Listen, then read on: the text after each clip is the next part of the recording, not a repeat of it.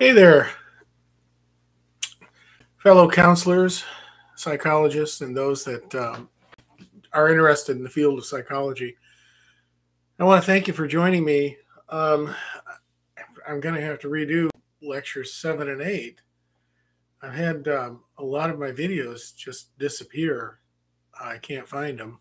Um, I went to redo my, you know, to get my notes so I could redo them, and and my notes went from uh, being a 60 70 pages to one page. I, I, don't know how but somehow all my stuff got deleted online and on my computer.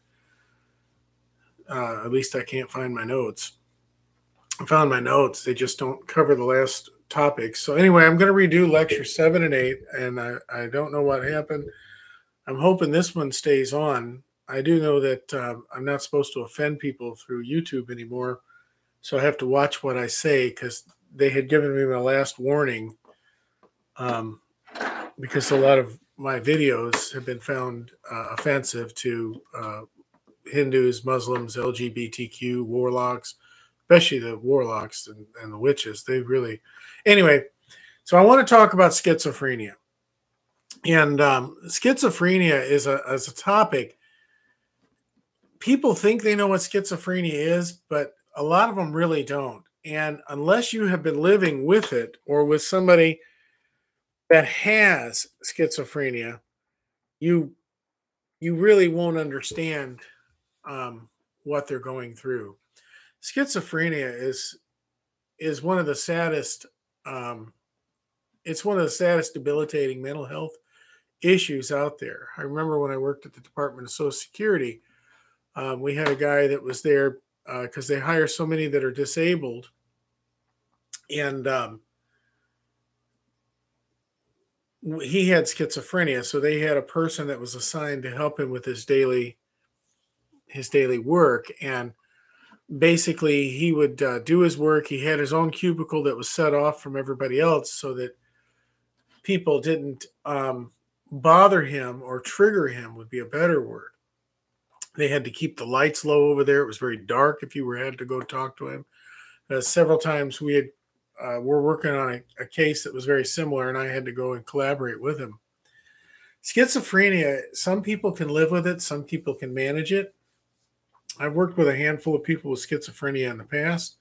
I've known quite a few people with schizophrenia when I was in the prison system, and they they have I call it I believe there are eight types of schizophrenia, but the Mental Health and Diagnostic Statistic Manual recognizes five.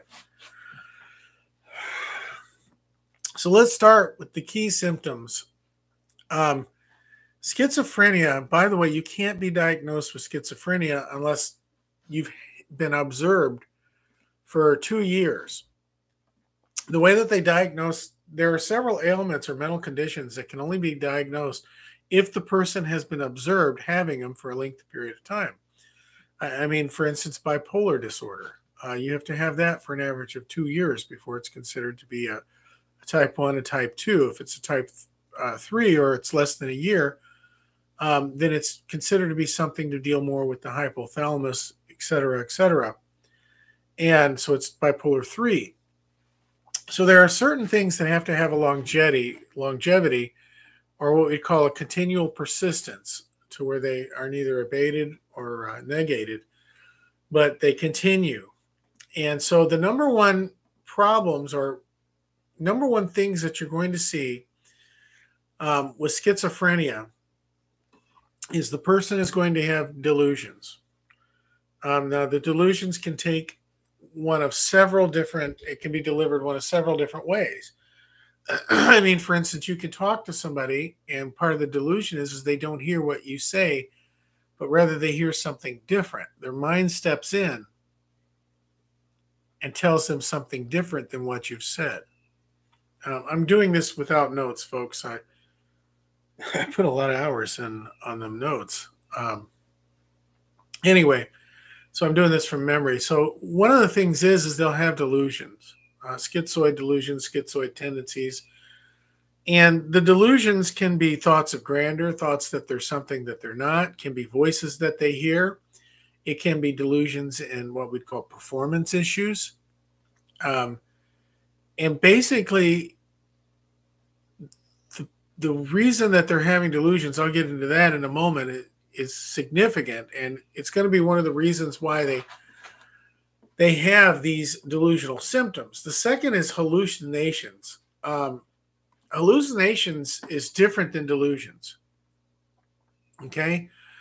Uh, delusions is, is when you can be hearing the wrong thing, you have the wrong idea, you you're you don't understand, you're not able to understand what it is that's coming in and what you're processing. Hallucinations is when you're literally seeing things like a, a person standing next to me or people in front of me or an animal like the son of Sam. Um, I talked to relatives of the son of Sam. I actually counseled one of them. And um, they told me a lot about him. And, and he would actually physically see a, a, a Rottweiler that would show up and it would talk to him. Um, but he was also, most people don't know, the son of Sam Murder was a hardcore Satanist. He had been born in a family that worshiped Satan. They were very much into the occult practice. And he had been told that if he committed a certain amount of murders, that he would be given rule in hell over 10,000 souls, that he wouldn't suffer in hell, but he would get to rule and use 10,000 different souls however he chose. Folks, the devil will lie to you. Um, but that's a hallucination. When you see something that nobody else sees, but yet you see it and you can hear it and you can speak to it. When I worked in the prison system, I was a chaplain uh, at DHS of Joliet Penitentiary. I was also the head chaplain over LaSalle County, and for a short time, um, until they closed the facility down at the Sheridan Correctional Facility in Illinois. And um, I moved, and but I was in those three facilities. But I would train, and I would go and speak at training seminars for chaplains, so they would be equipped. I used to train them and put them in positions throughout Illinois and Western Indiana. But when I would work with somebody that was schizophrenic, first I would always meet with them with thick glass um, because that's the way Illinois did it. Now, when I went to Missouri, it was different, but thick glass, and they would bring them in, usually chained, um, hands to waist to feet, because I worked with some very violent offenders. At DHS, I worked with individuals that had already served their time, but they could not be released back into society because they were so violent and I had um, 22 of them that I worked with regularly there, and every one of them were schizophrenic. And I think it was demonic schizophrenia. I'll get into that in just a moment. But when the person would sit down, if they would be going like this, or staring deeply at me, like, you know, like they want to attack me and stuff, because sometimes they don't see a human there, they see a demon. I've had people tell me, I don't, you know, do you know what you look like? And I would say, well, tell me. You look like just gold light radiating. What's wrong with you? You know, or, or I see a halo over your head. And, you know, sometimes they can see something horrendous, but they'll see different things. That's a hallucination. Okay.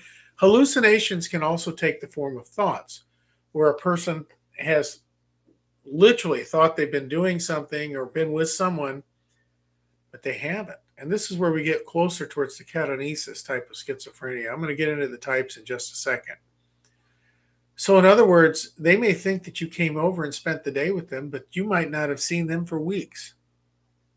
And it's because the brain will make up this scenario. And it's called subjugated or, or conflagrated memory.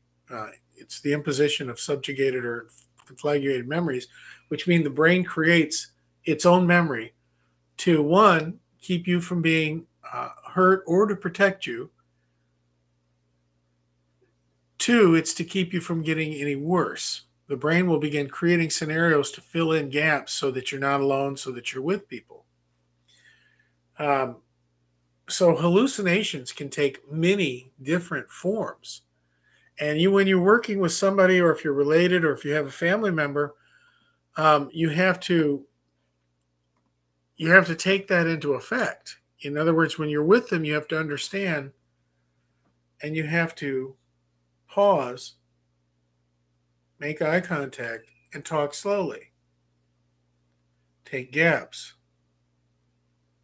Allow their brain to perceive and understand what you're doing. It's like working with somebody on methamphetamines. You don't move like this. If you have to move to open the door, you do it like this very slowly because their brain is at such a heightened speed processing many different things, not just you there, but it'll be on a half a dozen other things sometimes. Sometimes they're listening, they're hearing what we call white noise or false noise. It's I've heard everything from super hard satanic music. I had a boy brought to me that was tearing the sides of the, the hair out of his head and he was on medication and he just couldn't take it. And he was diagnosed as being schizophrenia and medications weren't working and he was going to kill himself. And uh, he was 14. His mother brought him to me and he had demonic schizophrenia. How do I know that? Well, I, I asked for authority from her and him to pray for him with authority and proxy. And when I prayed, the voices stopped and he went like this and he sat up and, and it had been going on for weeks. He says, The voices stopped. And so, why did the voices stop? Well, here's the deal. He uh, was going to school, and his teacher for mathematics, um, who was trying to be cool with the kids, just also happened to be a hardcore devil worshiper. And he brought in a stack of CDs which back in the day at this time period, they were about eight to ten dollars a piece. Um, we're going back almost 20 years. Some of you may remember when CDs were the big thing, and offered them to any of the kids that want. And they were of a I don't want to say the band because I don't want to get sued, but it was a Swedish rock band that did not hide the fact that they worshipped uh, the devil and Lucifer. And their music was summoning music, which was satanic ritual music. There are certain records and things that are made just to summon unholy spirits.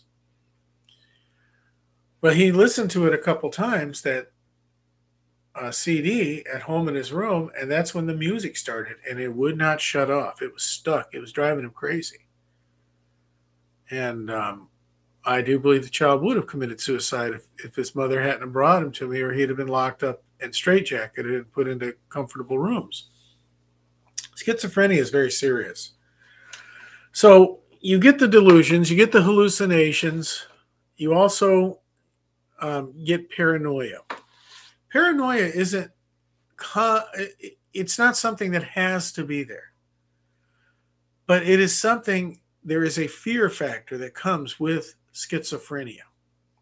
And part of the reason why is because the actual ailment is rooted in something that's happened, something that has caused fear to the psyche. So you will have delusions, you'll have hallucinations, you'll have a bit of paranoia. Okay? Schizophrenics, there are three ways that I know of that schizophrenia is created. We'll do the first and the most obvious, which is demonic schizophrenia. You see, if somebody has had a physical accident or used too much LSD or mind controlling, you know, ecstasy or some other uh, mind altering drug or even prescription. Some psychotropics will do this. If they haven't had either one of those problems, there is a schizophrenia that is caused by demons or unholy fallen angels. The boy who I gave you an example of, um, he listened to music that had been specifically dedicated to Lucifer and the devil, and it said right on it that it was, and that it was music for those services.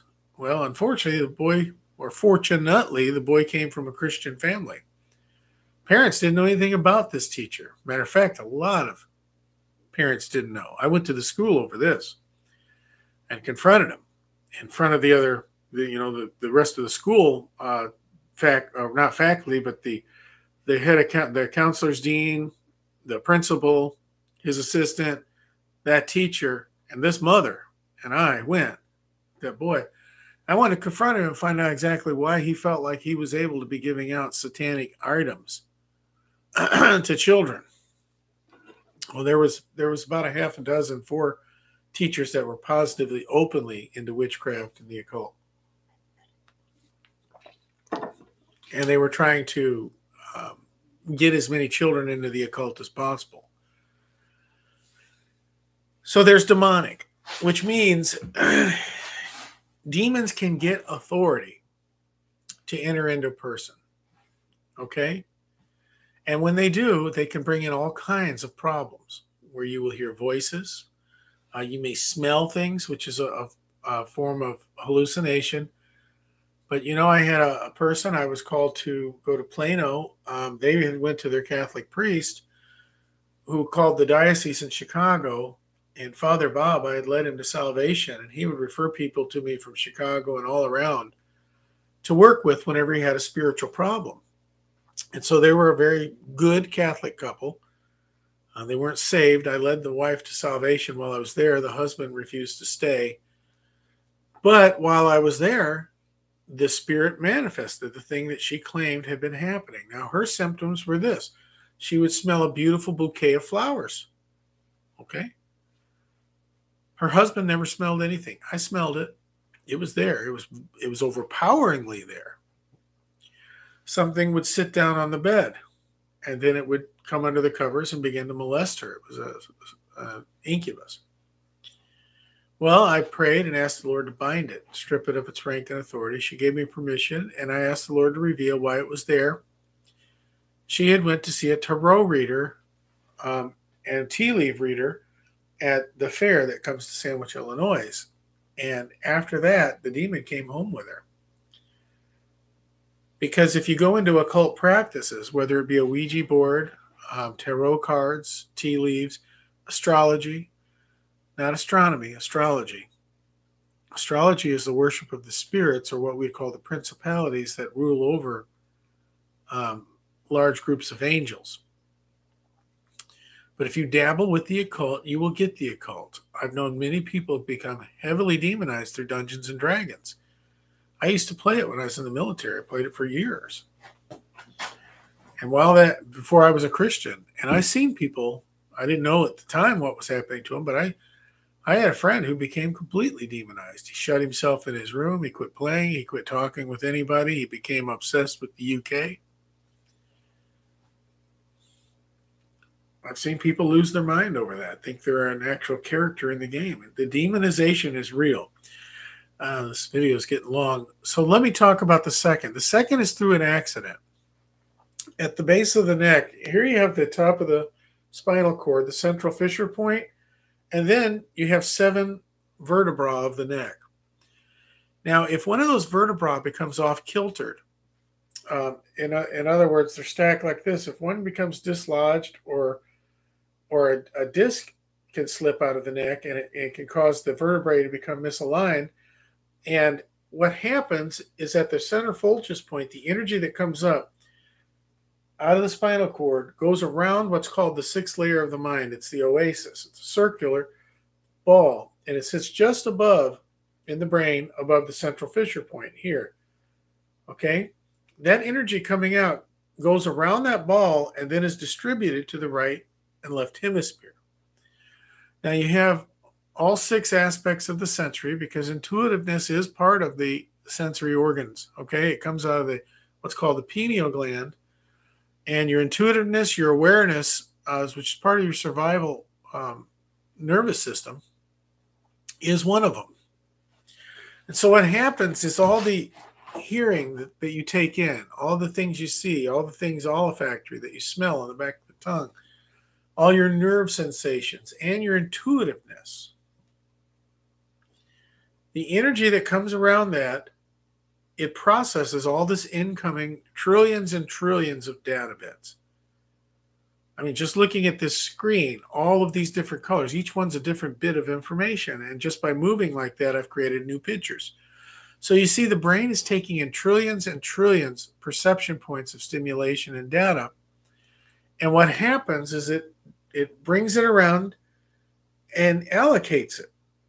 It then processes like the Fallon tubes, what you take into this eye, it crosses over and it's changed from visual to, to basically a pressure, a hydro pressure system for sensory, um, hydro pressure system from the ears, the auditory. The olfactory works in a different way. It actually breaks down the chemical analysis within the back of the, not the actual nasal passage itself, but when it comes down here and hits, you have several thousand sensory uh, points or glands that are dealing several thousand points that process to these glands and such and give you the ability for taste and smell. Well, what happens is if that vertebrae gets misaligned and it tilts or it moves in any way, you know, that it's called the axiom. If it moves in any way, it creates a misalignment at the base where the effulgence, effulgence means where the energy comes out of the spinal cord, because you have two sets of energy producers. The heart produces an electromagnetic field that goes out one and a half times your arm length. This is part of the intuitive aspect of sensory organs, by the way. Your spinal cord from the base, it, and with the peripheral nervous system of the gastrointestinal, creates a physiobiological nerve. In other words, a chemically induced energy, L frequencies, your spirit or your life force. That comes up the spinal cord and comes out the central fissure point, and it puts that energy around the brain. Call it your life. So if that energy gets misdirected in any way, then part of the brain, the brain that processes, the way the brain processes, it's like something that's off balance. It will process it incorrectly. Okay? So, damage to the brain, damage to the spinal cord can create like a bruising on the brain, misalignment of the the vertebra. There was a clinic in Chicago, I don't know if it's still there, that dealt specifically with the axle axioms. And that's the way the vertebrae would go up into the brain. And I remember now, this is going all the way back to the late 80s, because um, I had broke my neck from a fall. My head was stuck over here, and my vertebrae were misaligned. It was giving me a lot of problems. And um, so that's how I learned about it. And I learned while I was there that that energy that comes up and into the brain, he he was he worked specifically on that clinic that it's correcting imbalances within the cervical aspects of the, the seven vertebrae of the neck for realigning them. And he pointed out if those top three vertebrae, any of them are out of alignment, it'll cause problems with the way the perceptions of the brain are processed or the processing of the information. Okay?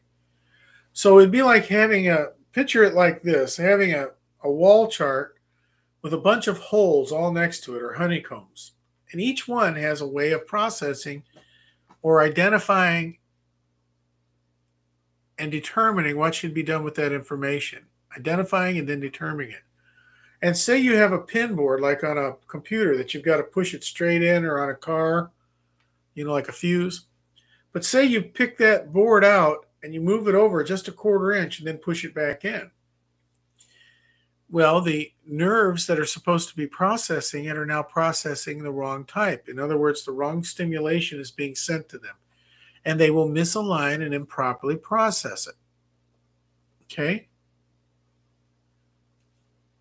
The third type, so we have demonic, we have through damage to the you know brain, like a bruise to the brain, um, you know, having a nail go into the head, a spike. I mean, I've seen some pretty bad stuff through research.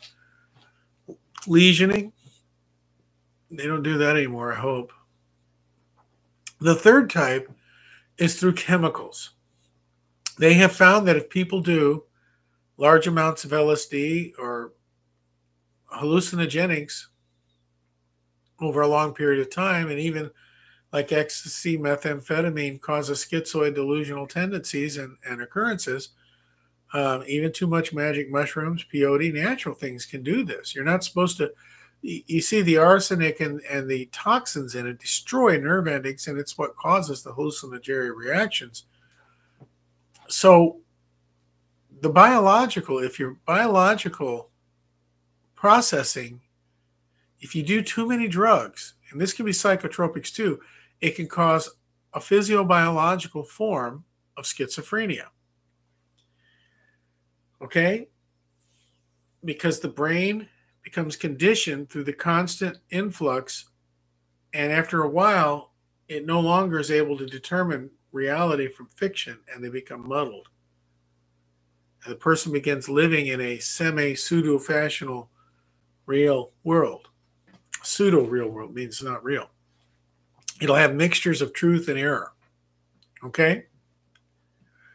So, I mean, you look at John Nash, he overcame his schizophrenia. He never got healed of it, but he wrote some incredible works.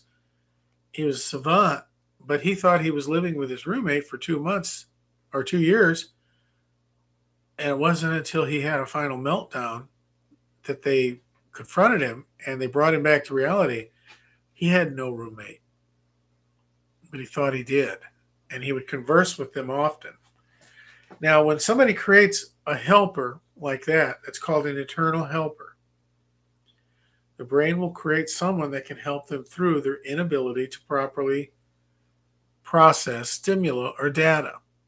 The brain does this as a mode of self preservation because the brain knows if it's unable to process the information correctly, the person will die by walking in front of a car, stepping off a cliff, falling out of a window, eating something toxic.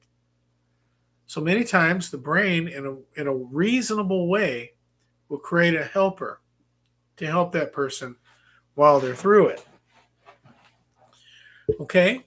So you've got three ways that I know of that schizophrenia can occur. Okay? So when we get into schizophrenia, um, one of the things you're going to be looking for is are they able to keep a train of thought?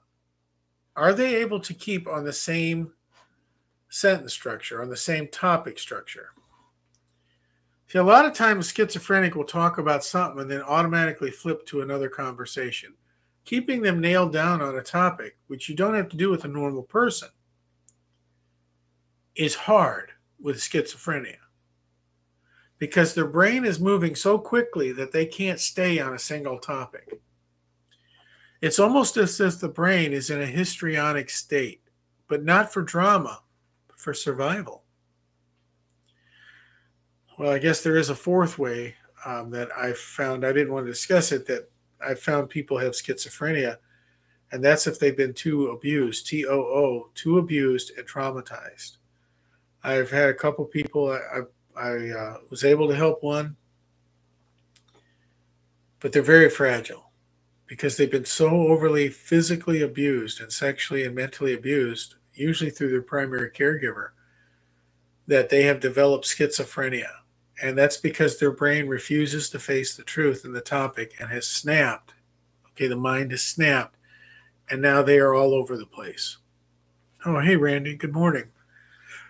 So, one of the things you'll know is is they're unable to to stay on topic and that's a, a, key sign of schizophrenia is the person will jump around they'll be either withdrawn there's usually no middle ground they're either really withdrawn they don't want to talk they just stare at you or they look down or they're overly talkative they'll have disorganized behavior now disorganized behavior is just the opposite of organized behavior in other words you know what you're going to do you set a plan you stick to it Schizophrenics aren't like that. Uh, they're like a, a frog on a hot plate. It just keeps jumping. So they'll have disorganized behavior. They will get up and look through a drawer and keep moving the things and trying to find something which may not be there. it might even be like like they might be wearing their glasses, but they're looking for their glasses. Because in their mind, they don't have their glasses. Okay? It can be something that simple. So their behavior will become disorganized. And that's something you can clearly see. They'll have disorganized speech. Now, what do I mean? It's like I was talking about. They will jumble together different stories. They won't be able to stay on one topic. You won't be able to nail them down. And they will just go from this to that to this to that. And it's almost like they trail off continuously. You know, they get to the bottom and, and they'll say, wow, these are cornflakes. Well, you know, I really love the way they make boxes. Do you know that that trees are being cut down to produce. Do you know so and so has a box? And I told her that she shouldn't have that box. that it's causing them to. Do you see what? And that's a bad illustration, but I'm not good at this. They will have disorganized thinking. They will not be able to nail their thoughts down. Imagine being in a head where you have five or six things, or even two or three things going on all the time, and they demand your attention. For instance, hearing white noise in one ear, or hearing a radio frequency, or hearing a refrigerator make a weird sound, and you just can't stand it. People will take that refrigerator apart, or they'll demolish it, beat it to pieces with a hammer to try to get that sound, that noise to stop. How about this is I had a guy who told me that he that he had drywall all through his, his sinuses, that he had breathed it in on a job site, and because there was drywall dust on the floor, and and he had been to doctor to doctor. They had even took and cut and peeled his face up and hosed through his sinus cavities. They were as clean as a whistle. He didn't have drywall dust. He had demonic schizophrenia. When I found the root of the cause, um, he had been severely molested and raped by the Catholic priests, uh, not more than one, where he lived. He was very devout Catholic. So we were able to get rid of that feeling because he was going nuts. I mean, he was he was losing it. So I've I've had people that thought they had bugs in them, and they couldn't get the bugs out you know that that was demonic schizophrenia and the reason why that person thought they had the bugs in them is because they had been horribly abused and somebody had made them ingest bugs and pushed bugs in them they did it to torture the person well the problem is is the brain was too traumatized and it couldn't get rid of that so what did i do i led led them in prayer and asked the lord to reach in and let them see his hand go in and take that bug and crush it and pull it and all its eggs to burn it with holy fire and burn all of its eggs out of there. And then I asked the Lord, Have you gotten them all? The person says, No, no, there's there's another one. It keeps making thousands more eggs. So I said, Lord, burn all the tissue and the eggs, annihilate it so there's nothing that can regrow. I had to do this several times. And they were very diligent in their mind. Yeah, he's looking, he's looking. Why? Because their mind had to come to grips and had to believe that the Lord was going to destroy those things that had been stuck in them and that they were forced to eat. And the schizophrenia was gone when we were done. It took about four hours working with that lady. So you see, there's a fourth way, and it's through traumatization. Um, and people don't understand, but tra- traumatization can really um, it just can throw a, a, a negative wrench in a person's um, ability to to function, and it can destroy their mind. All right, so some more symptoms. Catatonic stupor. What does that mean? It means when somebody's in a catatonic stupor, you can lift their arm up. And I had a person one time that I was brought in. They thought they were faking, and they weren't. You can push a needle through it, there'll be absolutely no response. Why? Because the brain is completely separated from the body. That is the ultimate defense mechanism. Catatonic schizophrenia, it, it's one of the eight types. They say there's five, I, I hold the eight, but is when the body and mind separate. The person pulls into the fantasy realm and decides to live in their head rather than out in their body because they can't take the pain anymore, or the abuse, or the hatred, or the fear that they've been enduring. And um, so you can have that. You can have immobility. Uh, I've worked with people that didn't think they could walk. They they didn't think they could do this or that. They were limited by their mind. And this is where the power of God really comes in. God can heal anything. He wouldn't be God. He wouldn't be our creator. Our creator can heal anything. He can remove curses from a child. He can remove schizophrenia and anything that bothers a person or that that takes control of a person. Do you, do you see what I'm saying?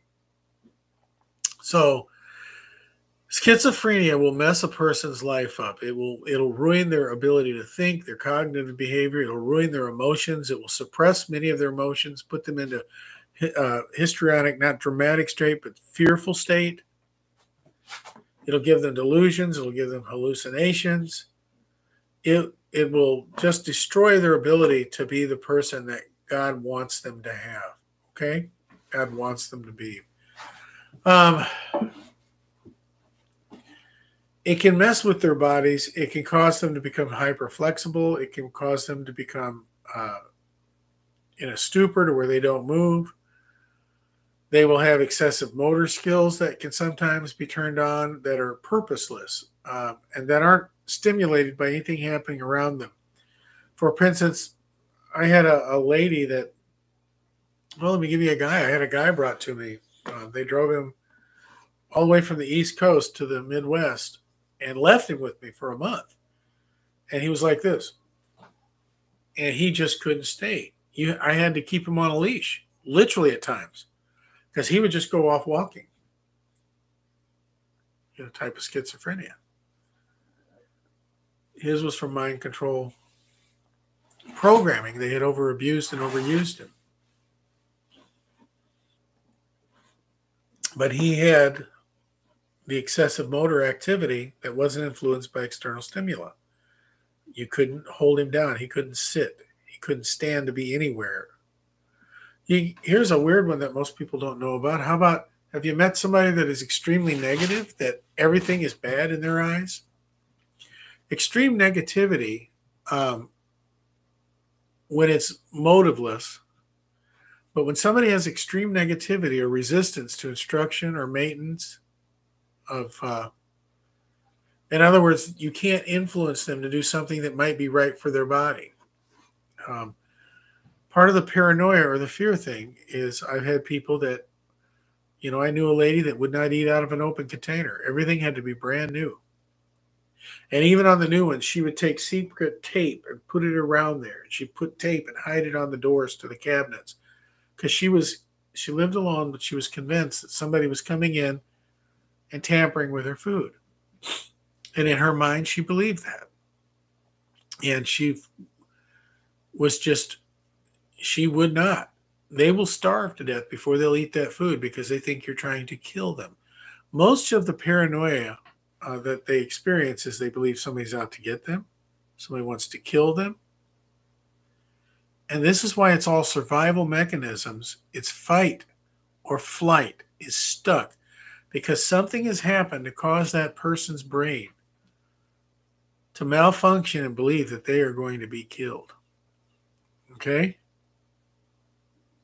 Something has happened that's caused that brain to think they are going to be killed.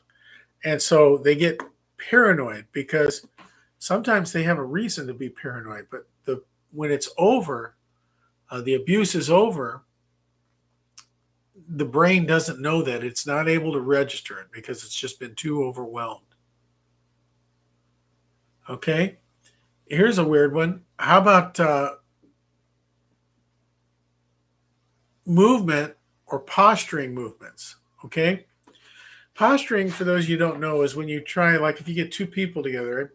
It's embarrassing when I, I preached my aunt's funeral once, and I had two relatives that were big shots, and you know they owned companies with a lot of money they were making. They're they're very wealthy, and at least the ones really wealthy. But they, we just got back from the funeral, and we're eating the bereavement meal, and all they can talk about, well, I just bought myself 15 new custom elongated vans. Going to give my workers some good vans right off the old. I just bought 20.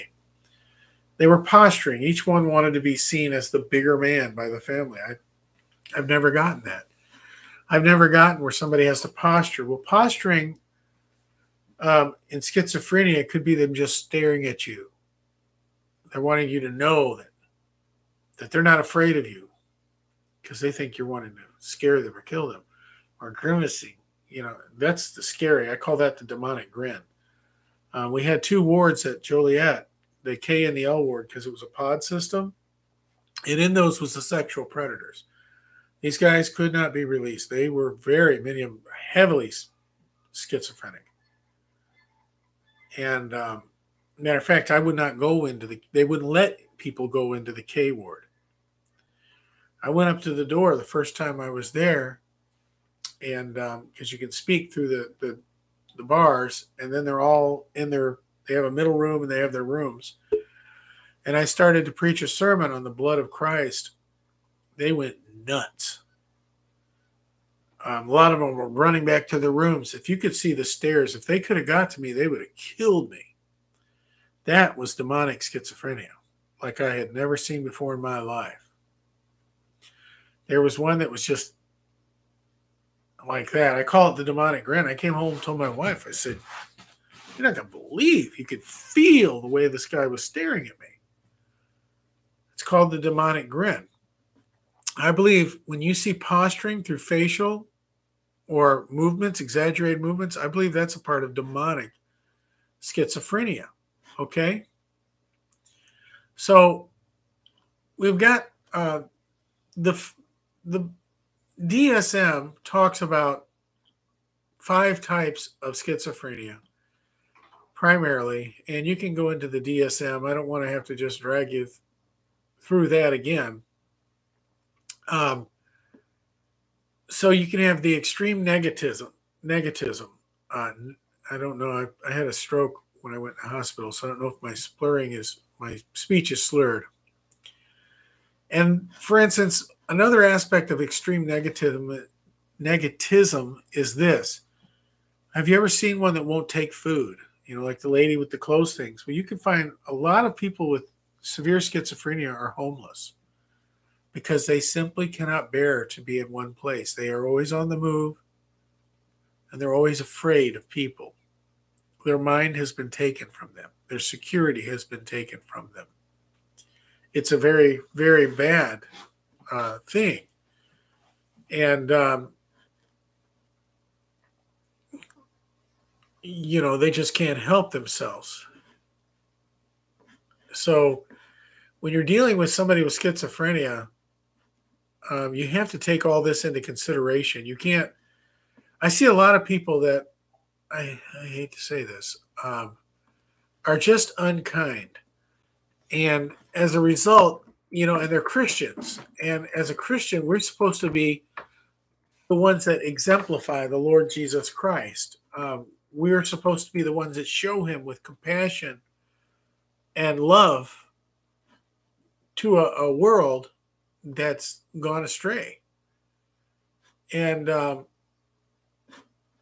and that's not happening with a lot of people. Most of the time, somebody that's schizophrenic, people just don't want to be around. I mean, it has to be a very close family member, like a mother or a father, and sometimes a sibling, um, that will get involved. Now, here's so we, I don't know if did I fully describe uh, Oh, catanesis, I fully described. Um, the next type is called the the echolalia and echopraxia. Uh, of course, echo means like if you say a word in a tunnel and it keeps saying it.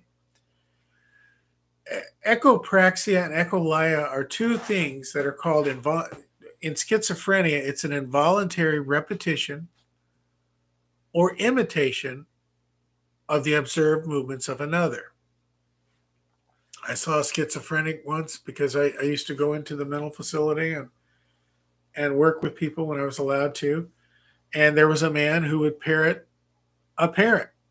He thought he was a parrot and he would act like a parrot and he would hold his head up and he would say, you know, Molly wants a cracker. And, and that's that's a symptom of, of a type of schizophrenia where somebody mocks or copies an animal, an object, or a thing. Okay. And um, echolalia is, in other words, you don't have to ask them for it. You can't stop them from doing it. It's re- a repetition of utterances made by other people and or animals. I've seen people that act completely like an animal. Like I saw the Monkey King of China. This is going back 30 plus years, back when I was heavy in the martial arts with my kung fu instructor. And uh, we were looking at a bunch of martial artists, and there was a guy just squatted down like this, and in his hands down like this, and he was all the way down on the ground with his butt, and his knees bent. And I, I said, What's wrong with that guy? And he says, That's the Monkey King. He looked like a monkey. He did not look like a human. He sat there. Okay. I had a guy that I went and visited um, who sat in the corner like this with his crackers. He had been through a Vietnamese prison camp. He had never gotten his mind back. And he would sit there like this and, and he acted like he was an animal, like he was a monkey. And he protected whatever you gave him. You couldn't get it away from him. So when we get to this, um, the difference between echopraxia and and um, echolalia is echopraxia is involuntary. In other words, they'll copy your physical uh, movements. Okay, echolalia is where they voluntarily copy the sounds. So they go together um, because if you're going to act like a monkey, you got to make monkey sounds. If you're going to act like a parrot, and literally, the guy would stand there with his hands like this, and and he wanted crackers, and he wanted that attention. He identified as a parrot, and um, that's incredibly sad to say, but it's it's just I have a hard time teaching on this because I've got so many memories that come to uh, come to come to mind. Um, it's just very upsetting. And anybody that deals with it knows what I'm talking about. So let's go ahead and and um, and get into this a little bit more. So what do you do if somebody has schizophrenia? How do you how do you treat somebody that has schizophrenia that you love? Well, the first thing that I do is I pray for them. I asked the family for permission to pray for him or her in authority with proxy. Oh, good morning, Richard. I asked them if they're cognitive and any bit, uh, able to communicate, if they will give me permission. For instance, I had a guy who actually became friends with. Um, his name was Tim. He was he was like six foot four, six foot seven, and 280 pounds. He had massive. He was a huge man they brought him in all chained up and chained him. These desks will not move. Chained him to that, and they would not leave the room. They had four guys in there. I'm like, what is your problem? you know, I said, you can leave. And they said, no, no, you do they have no idea who you're dealing with. And I guess he was extremely violent and he was insanely strong. I mean, insanely strong to where he would pick people with one arm and throw them across the room into the walls. How would you like to be in a pod system where this guy might get out? They might let him out. You don't want to, if they let him out, nobody would go out. He was that dangerous. So they chain him there and he keeps going like this. He keeps just looking off to the side. And I said, you know, hi, Tim. This is I'm Dr. Tom. I'm the chaplain here. I, I, I want to meet you. I, I want to pray for you and he's just staring me down like he thinks I want to hurt him. I have no desire to hurt him. I said, Can I have permission to pray for you in proxy? He goes, I said, Are you hearing voices right now, Tim? He's just staring at me. He's one of those that won't talk. I could tell he was because he keeps looking and there's nothing there where he's looking. He just keeps looking. And so I prayed and I said, Heavenly Father, would you bind everything in this room. I claim the authority for Tim. I pray and ask that you would bind everything within him, everything around him. Take control of the autonomic structure of his mind, body, soul, and spirit, everything that he is. And then he stopped. And he, he sits up like this, and he's looking at me with a normal face. Whereas before, I, I figured the guy would kill me if he could get loose. And he's looking at me. I said, Did the voices stop? He goes, Yeah, they did he got set free. It took about 20 minutes. Next time I went to visit, next week, he wasn't in chains. He was one of the nicest guys you could meet. He was sitting out there. People were still scared of him. But I even took his dog. Um, he had a one of, those, one of those Japanese chow chow dogs, and they it was in a pound. I went and picked it up. We took care of it until he got out. It took him four months to get out of the county. But God cured him of his schizophrenic. His was obviously, obviously demonic schizophrenia. Okay?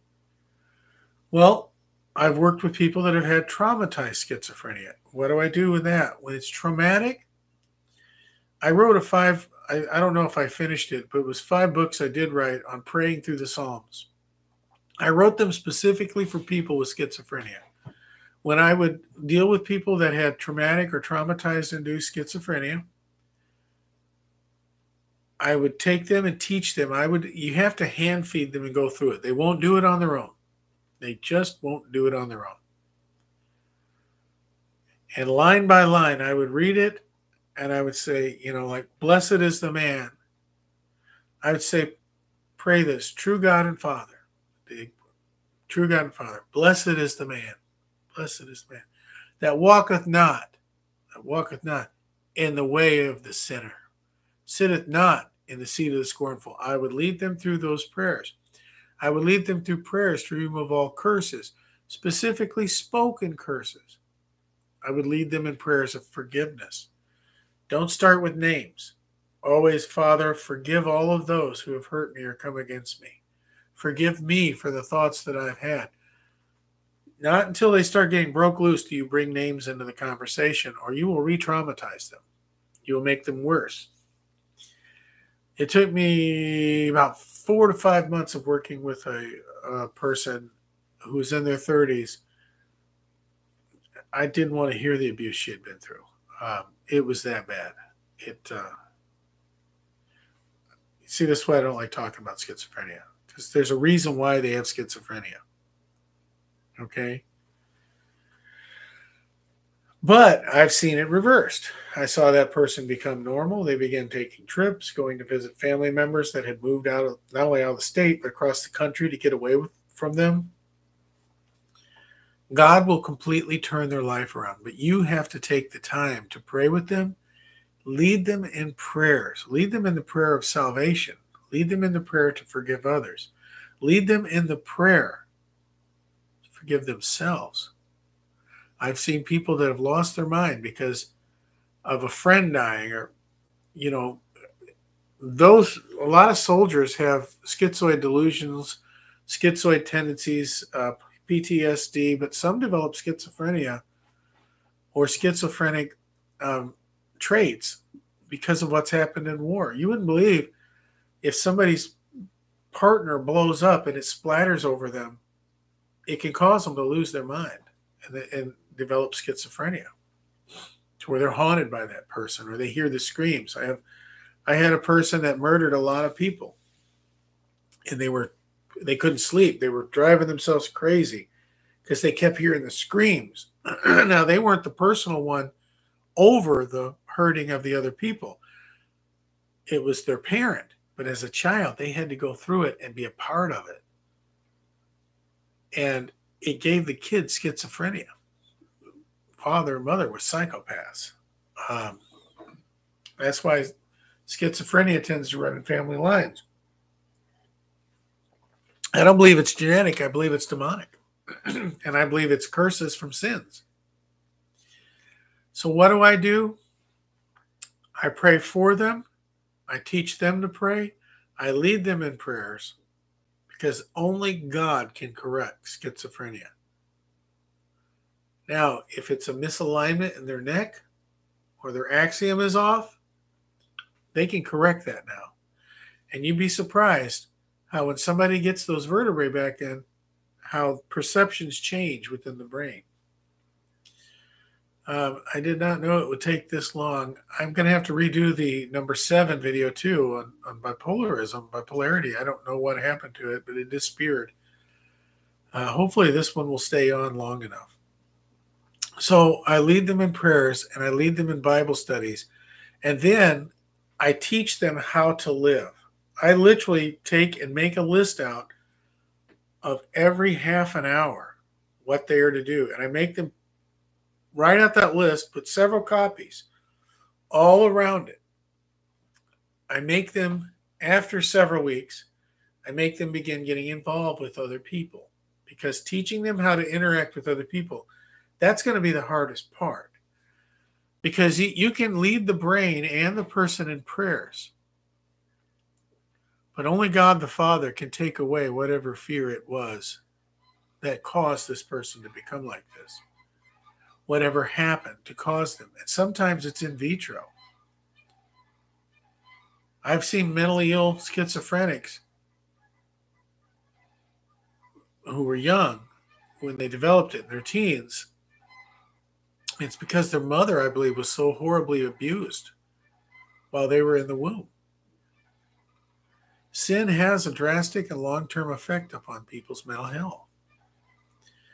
Um, I I apologize again for those lost videos. I I wish to God I knew how. I had three years worth of sermons that I did online. They all disappeared too. So I, I don't have backups. Only I trust YouTube to keep them in the cloud, and I guess they don't. So this is Dr. Tom. If I didn't cover the topic that you would like, uh, please forgive me. Write me a note, and I will do it. Um, I think I'm going to have to do a second one on schizophrenia where I just talk about the eight types of schizophrenia uh, because nobody wants to listen to an hour or two hour lecture. All right, forgive me for the length, and I'm going to try to get my mind cleaned up and and do more. I, I'm just having so many memories right now because schizophrenia breaks my heart, unbelievably so, and uh, it should yours too. All right, Lord bless you in Christ's love, Dr. Tom.